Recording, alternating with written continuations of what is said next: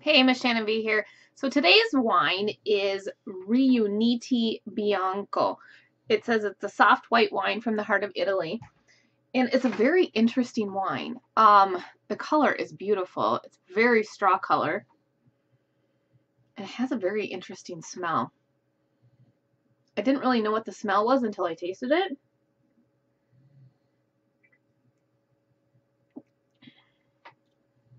It's the most fruitiest with a dryness added to it, but it tastes like a pear. I think it tastes like a pear or something in that type of family.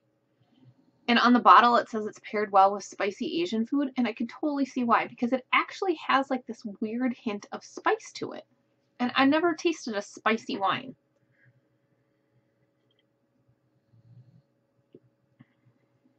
It has a very nice finish, very nice aftertaste. Hits you in the back of the taste buds a little bit in the back there, but it's a very good wine, and it's Riunite Bianco from Italy, and I liked I like how you say it, and it's just fun. So give it a try.